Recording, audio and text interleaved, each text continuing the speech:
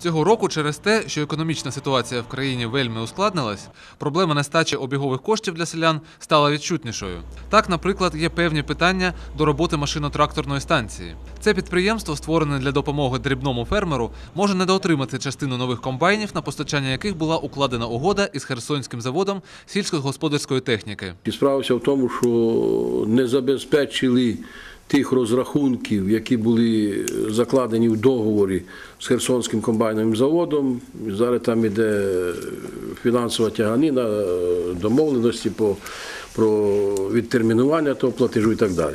Може бути таке, що десь частину комбайнів значить, таки заберуть за непроплату.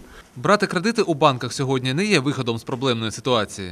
Банки сьогодні практично не проти е, кредитувати, але значить, той процент, який ви знаєте, підняли від тої нашої співбесіди, яка була з ними проведена, ті домовленості, які з нами були досягнуті з ними, значить, два чи три рази піднімалась кредитна ставка, значить, і сьогодні вона сягає більше 30%.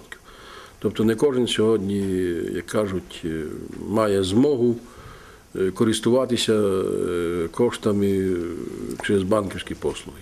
Посадовець запевняє, зараз аграрії вже знають, як можна хоча б частково розжитися грішми. Зараз проводить аграрний фонд обстеження посівів озимих культур, на які заключені форвардні контракти.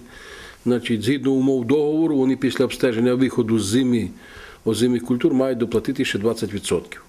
Тобто авансувати. До того авансування, що частина заплачена, частина зараз на 50%, 20% зараз ще доплачують от після обстеження. Теж є, як кажуть, десь ресурс значить, поповнення обігових коштів.